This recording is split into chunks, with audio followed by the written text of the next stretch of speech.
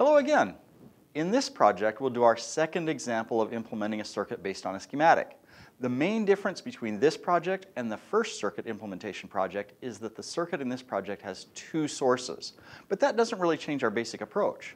About the only difference is that since we'll use the analog discovery to implement our circuit, we'll have a little less flexibility in where we define ground on our schematic. Here's a schematic of the circuit we want to implement. We're going to want to measure the current out of the source, I, and the voltage across this 10 kilo ohm resistor. Now we want to identify nodes on the schematic. As with our first implementation project, the voltage measurement doesn't affect our selection of nodes. However, in order to measure the current, we'll need to insert our ammeter between the source and the 1 kilo ohm resistor. So here's the circuit that we actually want to implement. Now let's identify the circuit nodes. I'll call this node A. This will be node B. This is C. I'll put D here. And this node will be E. Now let's figure out how to implement these sources and where ground needs to be. On this particular circuit, we have two sources, a 5 volt source and a 3 volt source. If we want to use the analog discovery to implement our sources, we need to keep in mind that all of the analog discovery sources apply a voltage difference relative to the discovery's ground. This means that the node shared by both sources needs to be our ground.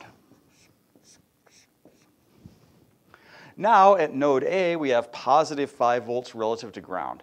I can use either V plus or the waveform generator to apply 5 volts relative to ground. I'll use V plus to implement my 5 volt source.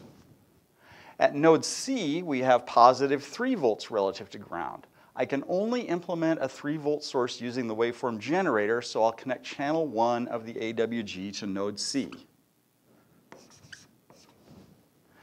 We don't really have any other decisions left to make. From here on, it's just a matter of connecting the components to the nodes.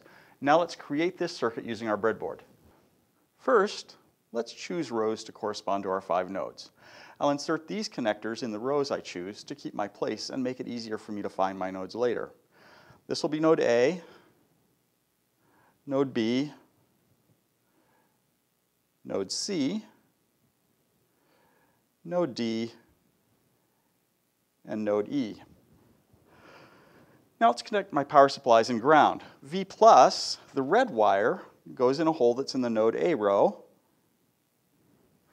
Ground goes at node E. And channel 1 of the waveform generator, the yellow wire, goes at node C. Now I'll connect my resistors. A 1 kilo ohm resistor goes between nodes B and C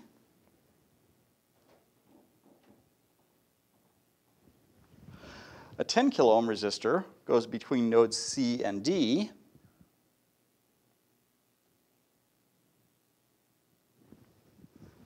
And my 20 kilo ohm resistor goes between nodes D and E. Finally, I just need to connect my voltage and current measurements. My ammeter probes connect nodes A and B,